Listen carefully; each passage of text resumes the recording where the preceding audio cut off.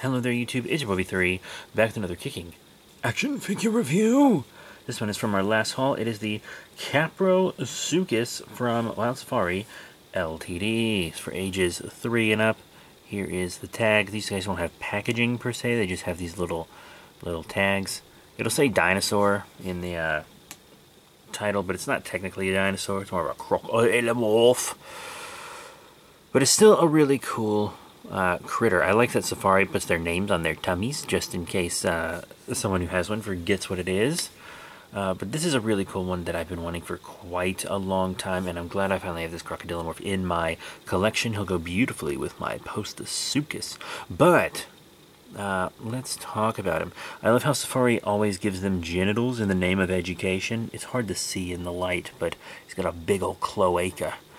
Oh, right there. Mm. Then, you know, a lot of osteoderms right around here. Really cool. Brown. I like the black spots. I think that really gives a lot of character to it. If it was just brown, that'd be kind of boring.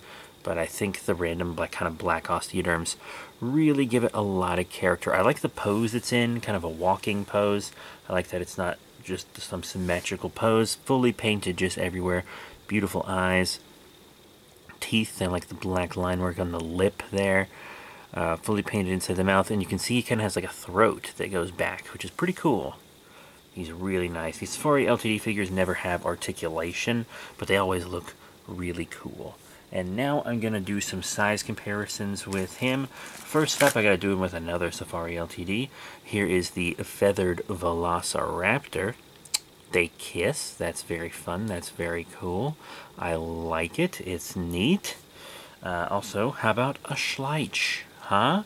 Here he is with the Gastonia that we reviewed a while ago. The Nodosaur. They kiss. That's very fun. And now, of course, oh, you gotta show him with a papo, bro. You gotta show him with a papo, bro. Gotta show him with a papo, bro. And here he is with the papo green running T-Rex that you see on dinosaur merch all the time. Awesome. They kiss. And, you know, there are many versions of King Kong that wrestle with prehistoric creatures. So how about the Playmates 2017 Skull Island King Kong? That's pretty cool. Huh? Now, how about another kaiju? Here he is with the Titanic Creations Gorgo. Huh? Alright. Let's get Orga out of the way there. And now how about some Jurassic franchise figures? Here's the Jurassic World Dominion Dilophosaurus that came with Claire.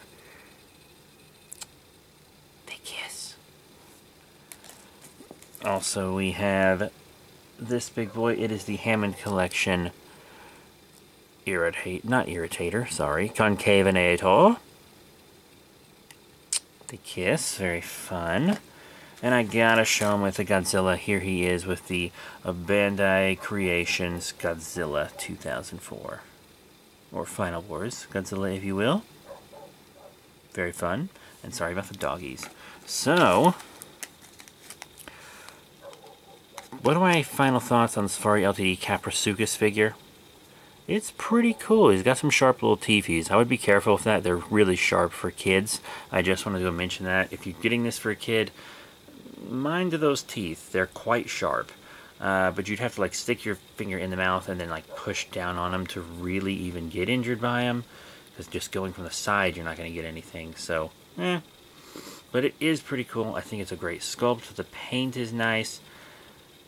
And I think it looks cool with other prehistoric creature toys, and even kaiju.